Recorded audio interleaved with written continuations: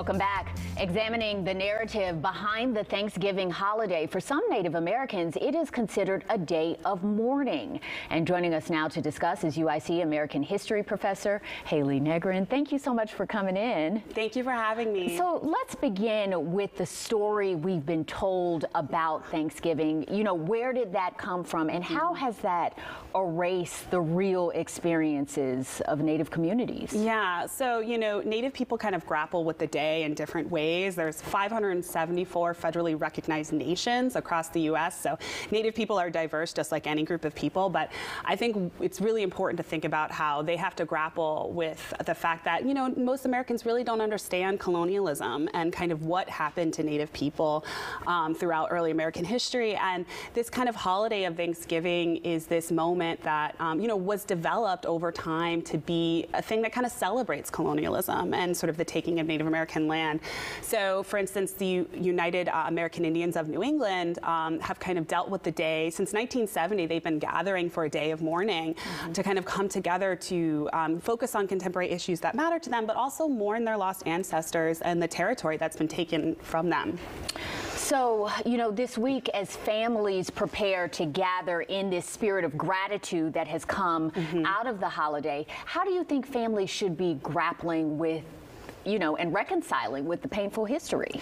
Yeah, well, I think one thing that's really important, right, is to study a little bit about early American history. That's great. You know, look at the actual history of what happened in the 17th century between pilgrims and Indians, um, but also just to really focus on the fact that, you know, Chicago is home to a vibrant Native American community today.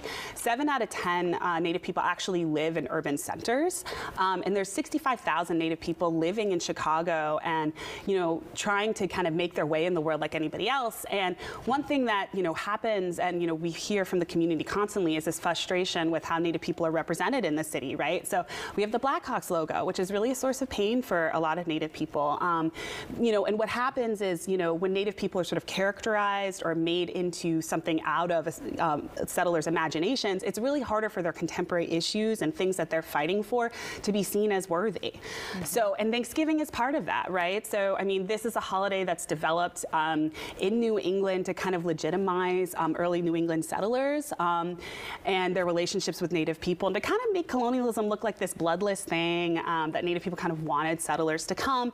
In reality, it's just such a complex history that really needs to be acknowledged. Mm -hmm. So right now there is a big uh, case that the Supreme Court is considering that could have a huge impact on Native American families and beyond. Can you tell us about that? Absolutely. And I think it's, again, like to your point, you know, as we're gathering as a family, family this week, you know, with our own families and gratitude, we need to remember that actually Native families are under threat right now. So Brackeen versus Haaland is a really important case. Um, the Indian Child Welfare Act of 1978 was this act that was passed to protect Native families. So basically, if Native children were up for adoption, um, it made the act made it so Native people would remain in their extended families or within their tribal nations. And this was a response to the fact that you know the U.S. boarding school system misplaced and took hundreds of thousands of Native children out out of their homes in the early 20th century.